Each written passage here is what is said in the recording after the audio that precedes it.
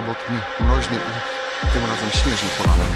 Tak jak tydzień temu praktycznie nie było śladu po śniegu, tak znowu trochę nasypało. Co prawda nie jest tak jak ostatnio, gdzie wędrowałem też właśnie w tych okolicach Parku Sanguszków. No ale jak widzę, za mną tam coś ta górka. Może widzicie, może nie, ale zjeżdżają jakieś dzieciaki na jabłkach i na sankach. Ja może zrobię tam materiał jeszcze, ale póki co wybieram się do pewnego obiektu. A jaki to, to zobaczycie za chwilę.